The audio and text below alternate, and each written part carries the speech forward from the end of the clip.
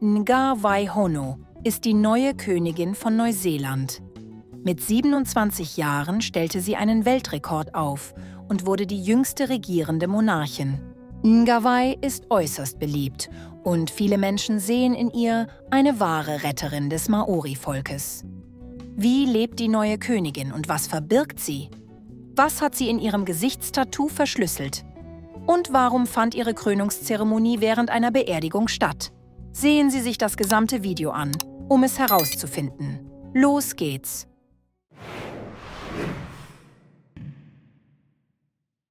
Neuseeland ist das einzige Land der Welt, das gleich zwei Monarchen hat, den britischen König Charles III. und den Herrscher des indigenen Volkes der Maori. Im September 2024 wurde Ngawai Hono zur neuen Königin ernannt. Sie ist die jüngste Tochter von König Tuhetia Potatau, der nur ein paar Tage nach dem Fest zu seinem 18. Jubiläum an den Folgen einer Herz-OP gestorben ist. Ein ungewöhnlicher Trauerzug aus vier prächtig geschmückten Booten zog den größten Fluss Neuseelands entlang, den Waikato. In einem der Boote wurde der Leichnam des verstorbenen Königs mitgeführt. Er regierte das Volk 18 Jahre lang und kämpfte unermüdlich für dessen Rechte.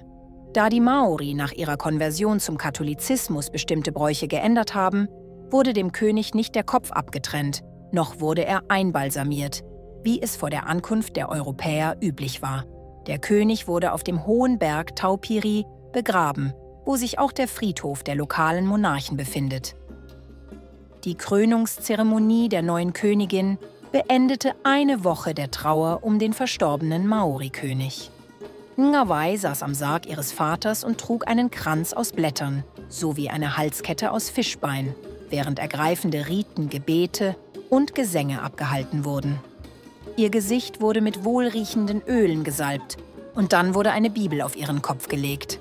Ein Ritual, das seit 1858 bei Maori-Krönungen Tradition hat. Ngawai wurde die zweite weibliche Maori-Königin in der Geschichte des Titels.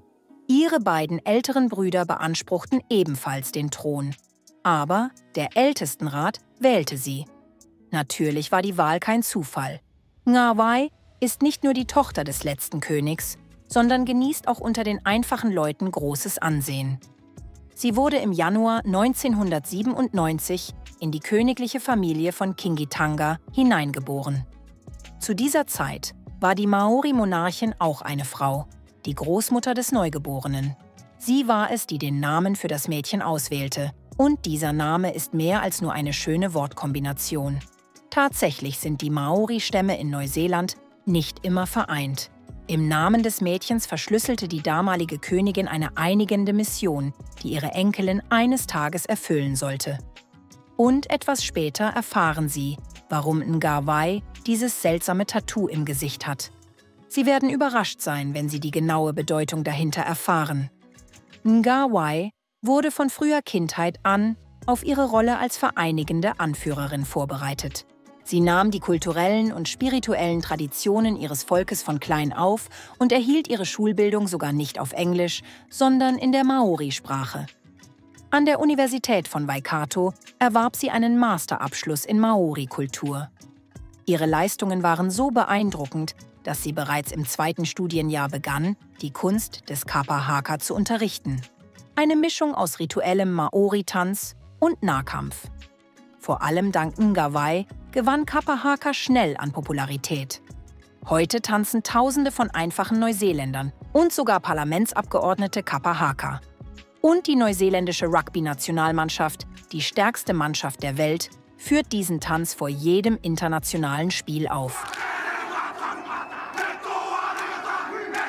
Im Alter von 19 Jahren, am Jahrestag der Krönung des Königs, ließ sich die Prinzessin als Geschenk für ihren Vater eine rituelle Tätowierung namens Tamoko auf ihr Kinn stechen. In dieser Tätowierung sind ihr Name und ihr königlicher Status verschlüsselt. Dieser symbolische Akt festigte ihre Verpflichtung, ihrem Volk zu dienen. Mehrere Jahre lang begleitete sie ihren Vater zu kulturellen und politischen Veranstaltungen sowie auf internationalen Reisen. Während eines Besuchs des Maori-Führers in London wurde Ngawai insbesondere Prinz Charles vorgestellt, der später König von Großbritannien und Neuseeland wurde. Als Prinzessin beaufsichtigte sie die Arbeit von Wohltätigkeitsstiftungen, die dem Maori-Volk helfen. Von den 5 Millionen Einwohnern Neuseelands sind etwa 900.000 Menschen Ureinwohner. Das entspricht etwa 17 Prozent der Bevölkerung des Landes, deren Lebensstandard oft deutlich niedriger ist als der der weißen Neuseeländer. Dies ist auf die Segregation der Maori und bestimmte kulturelle Besonderheiten zurückzuführen. Nach den Traditionen dieses Volkes muss ein echter Maori ein Krieger sein. Daher ist Geschäftstätigkeit bei ihnen eher unüblich. Gleichzeitig machen Maori fast die Hälfte der Insassen in neuseeländischen Gefängnissen aus. Wie Ngawai sagt, ist es ihr Traum, den edlen Kampfgeist ihres Volkes zu bewahren und in das moderne Leben zu integrieren. Zu diesem Zweck organisiert die Königin zahlreiche Bildungskurse. Sie versucht, bei ihren Landsleuten den Wunsch zu wecken, zu lernen, zu arbeiten und kreativ zu sein. Es gibt jedoch auch einige Aspekte ihres Privatlebens, die die Königin lieber geheim hält. Bald werden sie erfahren, worum es dabei geht. Rechtlich gesehen könnte man den Titel von Ngawai als zeremoniell bezeichnen. Doch in Wirklichkeit ist ihr Einfluss enorm. Sie ist weitaus mehr als nur eine symbolische Anführerin der Maori. Sie ist die spirituelle Stimme ihres Volkes. Was sie sagt und tut, hat großen Einfluss auf die Stabilität im Land. Damit die indigene Bevölkerung im politischen System wirklich vertreten ist, unterstützt die Königin die Maori-Partei. Diese Partei bringt regelmäßig einige Vertreter ins neuseeländische Parlament. Und diese Vertreter fallen auf. Statt Krawatten tragen manche von ihnen traditionelle Amulette und tanzen sogar ihren Lieblingstanz, den Kapahaka, mitten im Parlament. Im Moment wird das alles noch als eine Art lokale Exotik betrachtet. Aber schon bald könnte sich einiges ändern. Denn die Maori-Bevölkerung wächst rasant, viel schneller als die der weißen Bürger. Schätzungen zufolge könnten bis Mitte des 21. Jahrhunderts schon 30 oder sogar 40 Prozent der Neuseeländer Maori sein. In diesem Fall würde Königin Ngawai noch viel mehr Einfluss gewinnen. Das Privatleben der Königin ist jedoch in ein Geheimnis gehüllt. Sie achtet sorgfältig darauf, dass ihre Beziehungen zu Männern die Mauern der Residenz nicht verlassen und nicht in der Boulevardpresse landen. Über ihr Privatleben zu sprechen, ist für Ngawai ein Tabu.